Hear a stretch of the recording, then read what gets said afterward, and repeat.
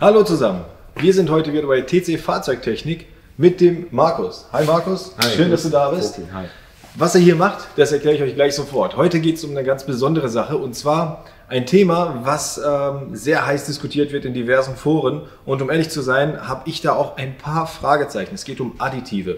Additive für den Kraftstoff und Additive für das Öl. Ich habe Additive für den Kraftstoff habe ich schon genutzt. Ähm, ehrlich gesagt, äh, da habe ich mir nichts dabei gedacht, beziehungsweise ich dachte mir, es kann nicht schaden. Beim Öl habe ich es bisher noch nicht gemacht, aber einfach nur, weil ich mich nicht so wirklich damit beschäftigt habe. Und im Internet liest man teilweise, da sagen Leute, ich würde es auf gar keinen Fall machen. Andere sagen, ich schwöre da drauf. Da kam ähm, so viel Zeug raus, das äh, mache ich aber jetzt mit jedem Auto. Und ähm, da dachten wir uns einfach, ähm, wir haben jetzt hier über TC ähm, Fahrzeugtechnik, haben wir die Möglichkeit, an jemanden zu kommen, der da wirklich Ahnung von hat. Also haben wir uns einen Profi eingeladen, der uns einmal erklärt, was ist das überhaupt, lohnt sich das wirklich? Und dann dachten wir uns, okay, in dem Channel sind wir ja immer offen und ehrlich.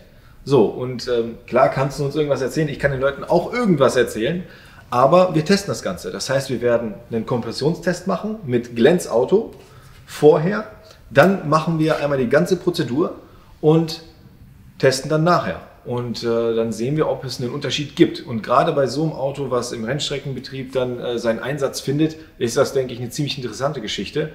Und ähm, ich würde sagen, ich übergebe dir jetzt einfach mal und du sagst uns, was ist das überhaupt und wie, wie kannst du uns den Benefit erklären, beziehungsweise was ist der Unterschied und wie kommt es, dass Leute sagen, ich würde es auf gar keinen Fall machen? Das würde mich echt interessieren. Okay, super, da bist du schon beim, beim richtigen Punkt, Benefit. Ähm, bei den Additiven ist es so, dass äh, ja, da verschiedene Meinungen nun mal da sind. Das liegt ganz einfach daran, dass es gibt ja, Produkte, die nicht wirklich das halten, was sie versprechen. Ne? Mhm. Und das ist der wesentliche Unterschied bei der ganzen Geschichte. Wir haben von Motul haben wir da ein Konzept, das äh, haben wir hier bei TC Fahrzeugtechnik am Laufen, das ist der Ölservice Plus, wo es darum geht, den Mehrwert, ne, die die Additive bringen, in Verbindung mit einem Ölservice dem Kunden, dem Endkunden nahezubringen. Okay. Mehrwert in der Form. Also grundsätzlich ist es so.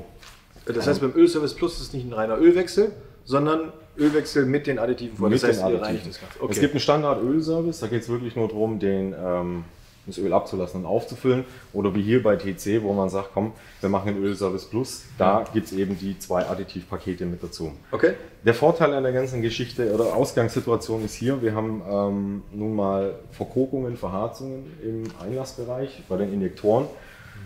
Die Folgen sind, dass das Auto ja, mehr CO2 äh, verursacht, Schadstoff äh, äh, geht nach oben, der Spritverbrauch geht nach oben, die Kompression sinkt im Motor. Das zur Folge hat natürlich auch mit Leistungsverlust zu tun. Ne? Genau. Und genau da setzen die beiden Produkte eben an. Verkokung haben wir eigentlich immer, ne? Ja. Unabhängig vom ob Turbomotor, Ja. Sauger, Ja. großvolumig, kleinvolumig. kommst du auch gar nicht drum herum um das Thema, weil du hast zum Beispiel auch in dem ganzen äh, im Sprit ne, es sind Zusätze drin, die hygroskopisch wirken. Das heißt, Ja. die ziehen Wasser. Ja. Und wenn du Wasser im Kraftstoffsystem drin hast, dann können eben genau diese Verkokungen und Verharzungen entstehen, die dann, das zeigst du hier mal in einem Bild, die Injektoren in ihrem Einspritzbild massiv beeinträchtigen. Ne? Also Ja. So sollte es sein, schön sauber vernebelt. Ne? Ja. Und wenn die Injektoren zusetzen, dann hast du eben dann hier dieses Geplänkel. Wie aus dem Gartenschlauch zu Hause. Wie aus dem Gartenschlauch zu Hause. Ne?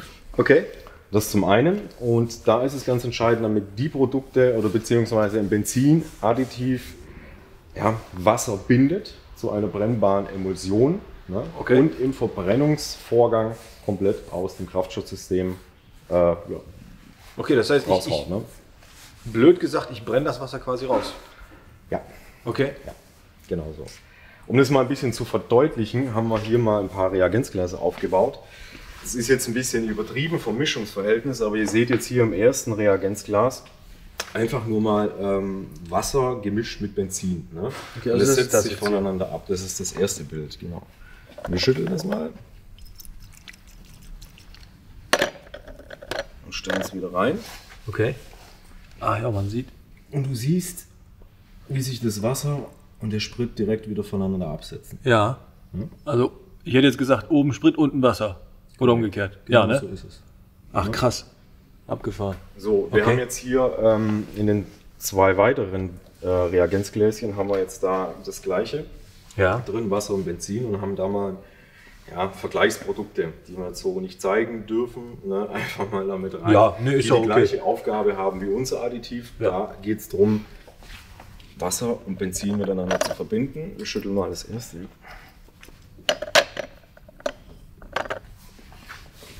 Okay. Ja. Wieder klar getrennt. Ne? Mhm. Passiert nichts. Passiert nichts. Ja. Schüttel mal das zweite.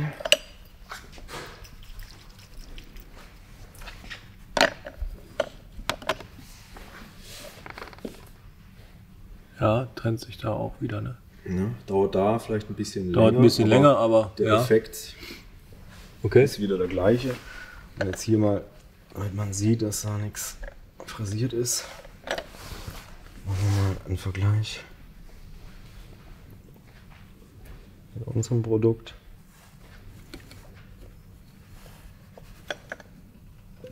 So.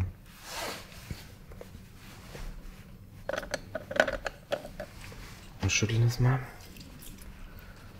Du siehst direkt eine krasse Veränderung. Genau das soll passieren. Ah, okay. Das heißt, hier sehe ich jetzt, dass das Wasser quasi gebunden ist. Genau. Oder? Das ist der Effekt, was ein gutes Benzinadditiv eben erreichen soll. Wasser Okay. bilden. Ne? Und nur so, wenn sich das so eine brennbare Emulsion bildet, kriegen Ja. wir den ganzen, das ganze Wasser aus dem Kraftstoffsystem raus. Ne? Okay, Das cool. ist das Entscheidende. Okay, das heißt, äh, wenn ich jetzt quasi im Internet gelesen habe, boah, würde ich auf gar keinen Fall machen, verschwendetes Geld, dann haben wir von solchen Beispielen hier in etwa gesprochen. Und hier habe ich dann quasi Einen wirkungsvollen Ansatz. einen wirkungsvollen Ansatz. Okay, cool. Ja, und anhand von dem Gläschen kannst du das einfach mal ein bisschen ja, genauer zeigen, ne, Ja. wie das Zeug funktioniert und was der, der Mehrwert davon ist. Ne? Okay, da sprechen wir aber nur von der Kraftstoffleitung. Das ist jetzt nur Kraftstoff, korrekt. Das habe ich, äh, um ehrlich zu sein, habe ich das auch bei mir schon gemacht. Ich habe jetzt ähm, keine Wirkung gemerkt oder was, aber gut, es wird eine, offenbar ist eine messbare Wirkung da. Was ist mit dem Öl? Das ist für mich die brennendere Frage. Beim Ölwechsel. Was ist da der Benefit, beziehungsweise wie funktioniert das? Kannst du uns da auch irgendwas zeigen? Gerne, gerne. Ich kann es ein bisschen an dem, an dem Chart hier zeigen. Also, ähm, wir verwenden da unser Engine Clean. Das Engine Clean kannst du verwenden für alle Otto- und Dieselmotoren, also kannst du für beide ähm, Fahrzeugtypen einsetzen. Und Ja. das wird dem Schmierstoffkreislauf zugegeben, ne, vor dem Ölwechsel. Okay, einfach Deckel auf, reinkippen. Deckel auf, reinkippen. Wie viel? Die komplette Dose. Okay. Also eine Anwendung sind dann diese 300 Milliliter, ne, die komplette Dose. Okay. Das gibst du da mit rein. Das Fahrzeug wird äh, laufen gelassen, ne? 10 Minuten, 12 Minuten. Ne? Und das Produkt hat den Benefit, dass eben Verschlackungen, die im ganzen unteren Zylinderbereich entstehen und da sind, ne, gelöst werden, Ja. in Schwebe gehalten werden und dann beim Ölwechsel tatsächlich komplett rauskommen. Ja? Okay. Wichtig ist hier zu verstehen an dem Bild, dass hier, deswegen sagte ich die untere Zylinderreinigung, dass dieses Produkt auch wirklich an die Kolbenringe rankommt. Ne? Das heißt, es reinigt und entfernt hier diese ähm, Verharzungen und Verschlackungen, die im, die im, im Kolbenringbereich sind. Ne? Okay.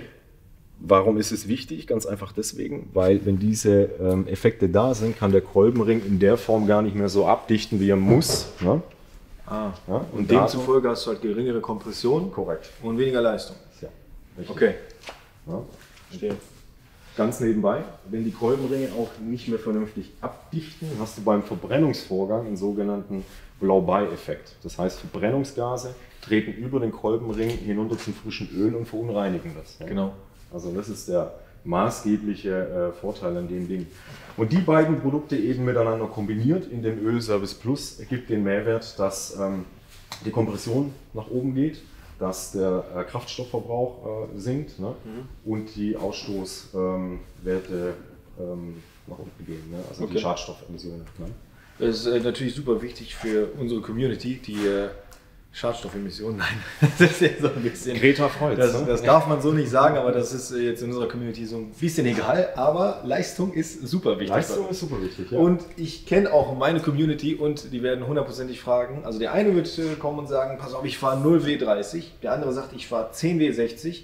Der nächste kommt, sagt, ich habe einen kleinen Turbomotor. Der andere sagt, ich habe einen 5 Liter V8. ja. Ähm, Gibt es einen Unterschied? Muss ich auf irgendwas achten oder kann ich das überall reinkippen? kannst du überall reinkippen.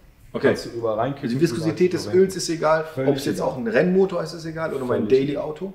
Völlig egal. Okay. Absolut egal. Okay. Das Entscheidende ist einfach, damit man den Mehrwert versteht. Es ist keine Raketenwissenschaft in der Form, sondern du hast einfach be- betriebsbedingte Ablagerungen und Verschmutzungen. Ne? Und gerade in dem Bereich, wenn wir von Leisten reden, will ich ja eigentlich sowas gar nicht haben, was mich da beeinträchtigt durch solche Ja. ne? Ja. Verschmutzungen. Und mit ähm, den Produkten schaffst du dann eben die Ausgangssituation zurück. Diese ganzen Verunreinigungen, Verkorkungen und Verharzungen aus dem kompletten äh, System wieder rauszukriegen. Okay. Dann würde ich sagen, ähm, die Theorie haben wir jetzt. Die Theorie haben wir. Ich Jetzt weiß, gehen wir worum es geht. Praxis. Und äh, du sagst, dass ihr mit eurem Produkt definitiv hier einen Benefit generiert. Das heißt, wir machen jetzt einen Kompressionstest, bevor wir irgendwas gemacht haben. Das heißt, Glens Auto ähm, haben wir ja gerade frisch aufgebaut. Das Auto hat noch nicht viel gesehen. Wir wissen allerdings noch nicht, wie viel der Motor gelaufen hat. Daher, ich, ich kenne den Zustand nicht. Das heißt, wir machen jetzt einen Kompressionstest. Dann machen wir einen Ölwechsel, aber vorher mit den Additiven. Also dann zeigen wir mal gerade den Ablauf, würde ich sagen. Ne? Kippen wir das rein, machen einen Ölwechsel und du sagst uns, wie das abläuft. Und danach machen wir nochmal einen Kompressionstest. So sieht's aus. Und dann gucken wir mal, ob das denn alles so stimmt. Legen wir los. Top. So, jetzt machen wir mal die Eingangskompressionsmessung. Dafür sind die Zündkerzen draußen. Und da kommt das Messgerät dann äh, an dessen Stelle einmal rein und ähm, dann messen wir einmal den Eingangswert. Jetzt sag du mir, weil ich habe das, um ehrlich zu sein, nicht gemacht, der Kompressionswert, wo liegt der üblicherweise? Ja, je nachdem, wie verdichtet wird, aber im Durchschnitt so zwischen 11 und 12 Bar. Ne? Und im Okay. Idealfall homogen. Das heißt, das sollte irgend, äh, ja, auf gleichbleibender ähm, äh, Kompression pro Zylinder sein. Ne? Okay, das heißt im Idealfall haben wir von Zylinder 1 bis 6 12 Bar. 11 bis 12 Bar irgendwo Okay. in dem Schnitt. Das Entscheidende ist das Homogene auch mit. Ne? Alles klar. Ja gut, dann äh, würde ich sagen, starten wir mal. Glenn?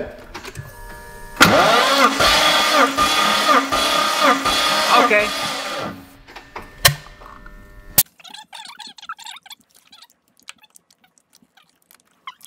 So, Eingangsmessung haben wir jetzt gerade gemacht und das ist das Kärtchen, das uns verrät, was das Ergebnis ist. Ähm, ich würde sagen, dann film das mal einmal hier gerade. Es ist ein bisschen klein, ich hoffe, ihr erkennt es und dann kannst du einmal, Markus, kurz erklären, äh, wie liest man das und was ist jetzt genau das Ergebnis, was wäre deine Analyse? Also, im Prinzip ähm, ist es hier aufgeteilt in Zylinder 1, 2, 3, 4, 5 und 6. Ne? Und die Skala geht dann mit den äh, Bardrücken in die Richtung.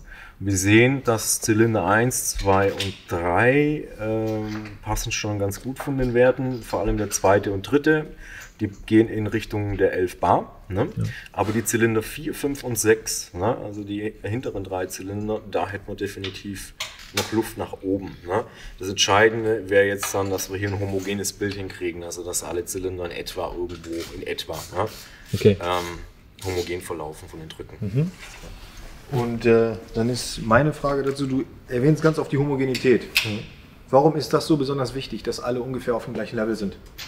Weil das dann natürlich auch maßgeblich dann ist für einen sauberen Lauf und für die Leistungsentfaltung vom Motor. Ne? Genau. Ja, die sind ja alle, die sind ja alle mit einer Kurbelwelle verbunden quasi. Und ähm, du hast dann überall quasi jeder Zylinder hat so seine eigene Leistung. Ne? Und sprich mit unterschiedlichem Druck hast du dann auch irgendwo einen nicht so sauberen Lauf. Daher ist das besonders wichtig. Ich bin echt gespannt. Äh, vom Ablauf her. Ich sag mal, wie ich es machen würde und du sagst, ob es richtig ist. Okay. Ich nehme die Tube hier, kipp die komplett in den Motor. Ja. Dann äh, lasse ich den Motor 10 Minuten laufen. Dann kippe ich, ja, stimmt. Sehr gut. Genau. Wie in der Schule früher, ja, mal zugehört und trotzdem falsch gemacht. Ähm, ich kippe das komplett in den Motor. Genau. Dann kippe ich das in den Tank. genau. Nach Möglichkeit, wenn ich einen vollen Tank habe.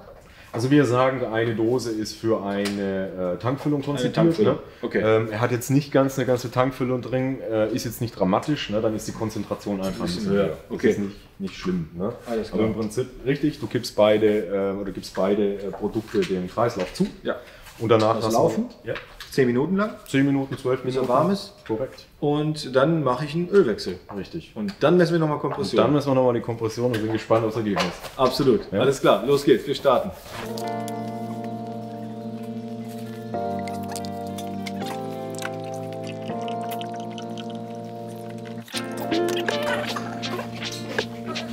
Gerade ein bisschen Platz, damit wir den Koffer rausschieben können. Äh, weil wenn er 10 Minuten hier drin läuft, dann vergasen wir uns. Und äh, ja, sagen, wir schieben mal ein paar M3s und M2s hier durch die Gegend.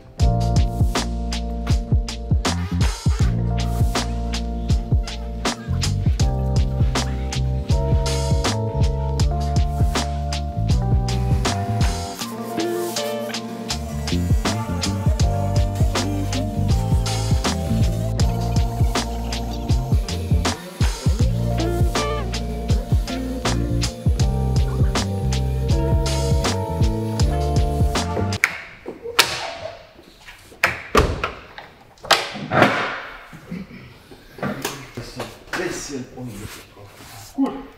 Der muss Geil. Richtig aus tausenden. Äh, Richter Deo. ja, gut, ne? Ja. Mal mir morgens die Haare rein.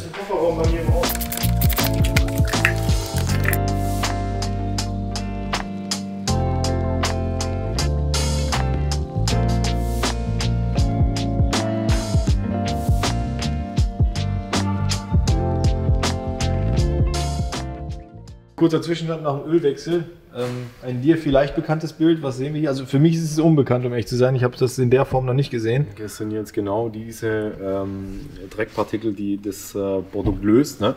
die jetzt mit dem Ölwechsel quasi aus dem Kreislauf raus sind. Ne? Und hier sieht man halt eben deutlich, was da alles so rumkeucht und fleucht ne? Alter. und nur raus ist. Das ist echt einiges. Also, also in der Form habe ich das echt noch nie so gesehen. Das sieht echt, echt krass aus. okay, weiter geht's.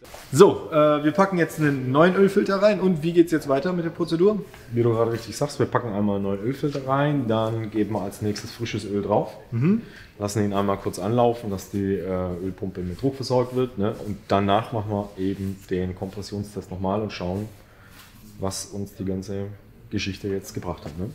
Wir sind gespannt. Idealerweise sind Zylinder äh, 4, 5 und 6 haben dann eine höhere Kompression. Ne? Im Idealfall, Die ja. ersten waren ja schon ganz Die okay. waren ganz gut, genau. Im Idealfall ziehen die hinteren Reihen nochmal nach. Ja. Okay, ich bin gespannt. Also auf jeden Fall habe ich schon mal ein gutes Gefühl, was Lenz Auto angeht, weil ich habe super viel Dreck im Ölfilter Ja, gesehen. genau. Das ist Das- schon mal die erste gute Sache.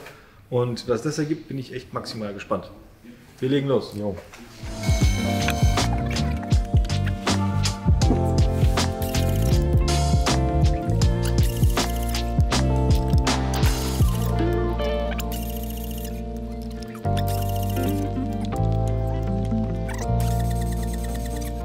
Alles klar, wir sind fertig mit dem zweiten Kompressionstest. Und zwar haben wir den Motor jetzt 10 Minuten laufen lassen draußen. Und äh, danach die Prozedur, wie der Markus das gerade schon erklärt hat, wir durchgeführt. Und der zweite Kompressionstest, den halte ich hier in der Hand. Und ähm, am besten schauen wir uns das mal gemeinsam an und du sagst uns, was da so die, das Resultat ist. Also hier haben wir links einmal den alten Kompressionstest und rechts den neuen. Dann übergebe ich dir einmal hier den Zeigeschraubenzieher. Also, markant festzustellen sind ein paar Verbesserungen. Speziell der Zylinder Nummer 4, der hat deutlich zugelegt. Der war hier bei 9,5 ungefähr, 9,5 Bar und ist jetzt bei 11 Bar gelandet. Ne? Über sogar. Über 11 Bar. Ne? Und ähm, Zylinder 2 hat nochmal ein bisschen zugelegt, Zylinder 1 minimal.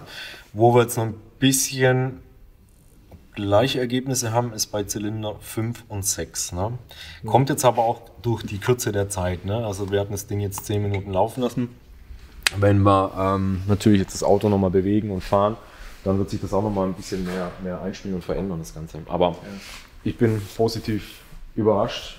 Nein, das heißt nicht überrascht. Ich wusste, dass da was, was in die Richtung passiert, aber es ist ein schönes Ergebnis für die Kürze Ja. der Zeit. Absolut. Ja, also ich, ich finde dich ein bisschen zu zurückhaltend, um ehrlich zu sein, weil ich finde das Ergebnis sehr krass.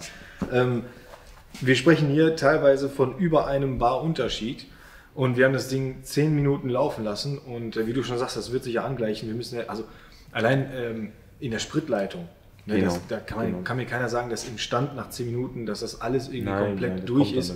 Vor allem, das wird sich noch anpassen. Und jetzt nach 10 Minuten haben wir schon teilweise über ein Bar mehr Kompression. Ich, ich finde das sehr, sehr krass.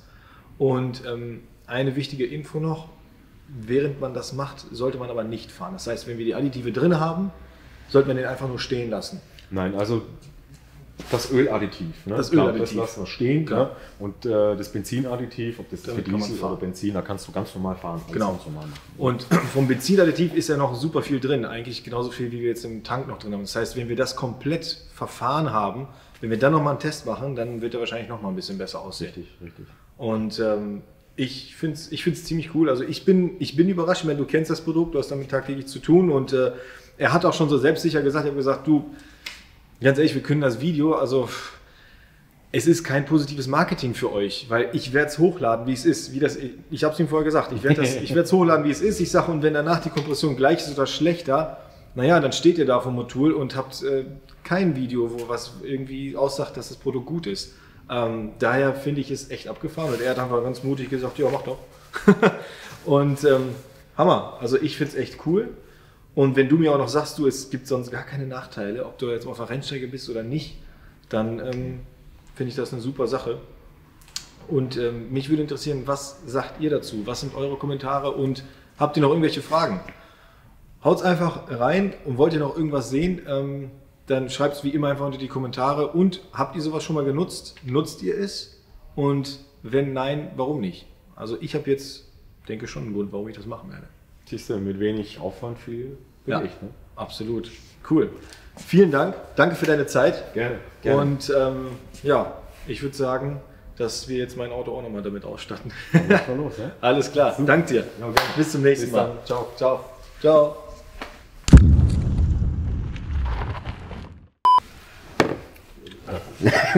da rieche ich nicht viel, ne? Nee. Oh, riecht das gut. Oh, oh riecht das gut.